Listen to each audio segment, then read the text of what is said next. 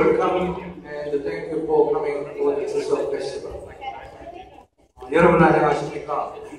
대남부 뉴저지 한인회가 마련한 추석 대잔치에 오신 것을 환영합니다.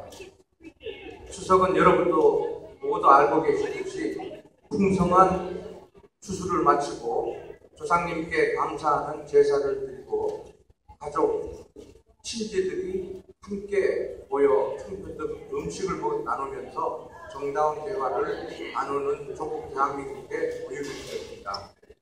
오늘 특별히 뉴욕에서 주, 뉴, 어, 뉴욕에서 오신 주 뉴욕 총영사단의 전영희 녹화담당 검사님, 어, 도날도 놀브로스 미 연방 하원 의원님, 척한 체릴 시장님,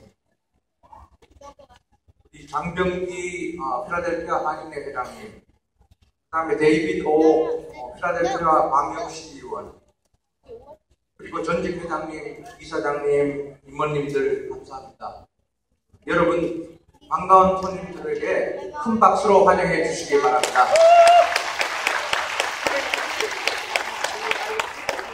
그럼 지금으로부터 2016년 대남부 뉴저지 한인의 기체 추석 대잔치를 시작하겠습니다.